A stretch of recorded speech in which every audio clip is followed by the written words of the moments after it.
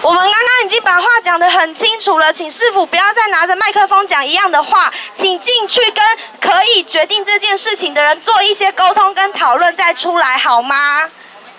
我们把话讲得很清楚了，台南市铁路地下化是公共议题，公共议题所有人都有资格参与讨论以及发表意见。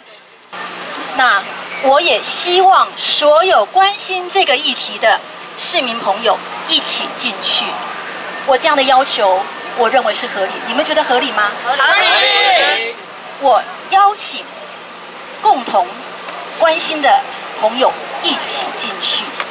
这是市政府一直讲，这是一个公共议题，这是公共利益，所以我们这些少数的居民必须要牺牲。既然是公共利益，我们就应该让所有的公共议题摊在阳光下，让所有的人都来听得见。我邀请所有关心这个议题的朋友都能够同时一起进来，但是我们也希望场面是和平的。事实上，昨天并不应该发生不愉快的暴动。昨天若不是警方强硬的区隔，其实这个。场面是可以很和平的，更何况昨天的座位都是足够的，为什么要区隔北区的先进去，有位置在东区再进去，有位置仁德区再进去？这是市政府的分化的行为，我认为很不妥。我现在诚挚的邀请所有关心这议题的台湾市民朋友、所有的媒体朋友、所有的啊年轻朋友都一起进来，谢谢。等一下，我有问题，听我讲。这是市政府要我讲啊！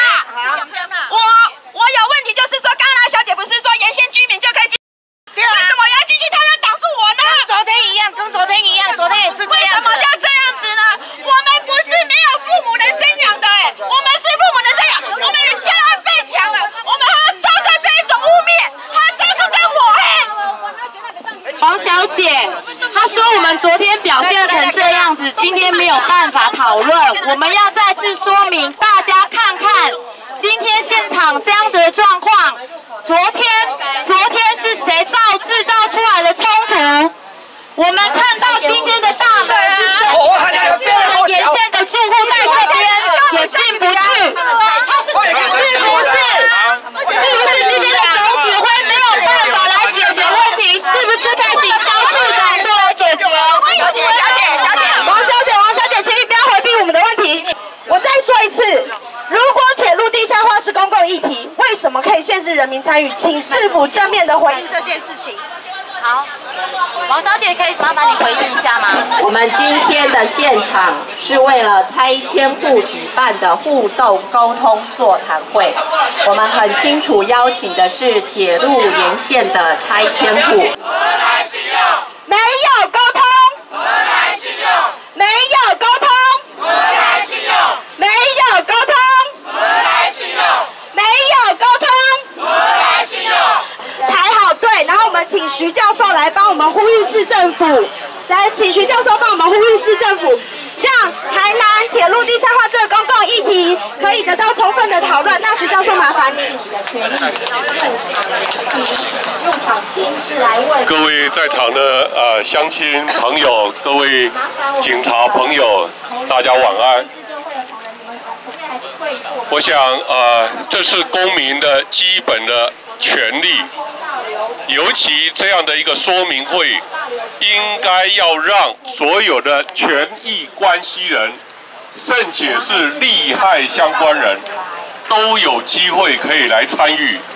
我觉得台南市政府，尤其是警察局，采取这样禁止公民进场的这样的行为，是违背了宪法上对于人身自由。及言论自由的一个保障。我要说，台南市政府比苗栗县政府还不如。在苗栗县举办的都市计划说明会、座谈会，台湾农村这些的成员都可以进场帮农民表达心声，但是到台南市政府农村这些的一个成员，竟然没有办法进场，让当当地的市民来表达心声。我要说，台南市政府比苗栗县政府还不如来钱德，比刘志宏还要糟糕。全职来来钱的，托起来钱的，托起台南市政府。欢迎。好，我们现在在场外。居民如果想要先进场的，我们请让警察让居民进场。可是如果居民没有学生陪伴就不愿意进场的，我们现在就在场外静坐，看他这两个小时要用什么样冠冕堂皇的理由开完这场不公不义、没有沟通说明、没有限制人民入场的说明会。台南神学院在那当中，难道这样子就不是一个可以发生的公民吗？我们身为一个学生，我们陪伴一个居民，难道这个要求、这个邀请是过分的吗？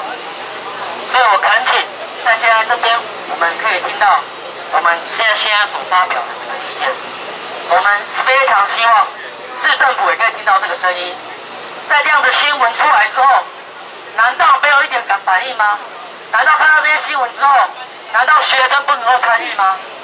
今天学生，我的学长姐、我的同学，甚至我的学弟，都一起来参与这样的事情，跟这些居民的关系是密不可分的。难道这样不是参与的参与的一部分吗？难道这样不是可以共同去进到这一个座谈会里面吗？我们要求的是一个可以一个互动沟通的平台，并且能够听见彼此的声音。难道我们住在旁边是一个学生就不是住在台南市吗？我们也是一个台南市民。我们是学生更是一个住在这里的市民。难道非得要分区或者是说我们不是拆迁户来去界定吗？我非我觉得非常的不合理。学生共同参与。学生共同参与。学生共同参与。学生共同参与。邀请进入会场。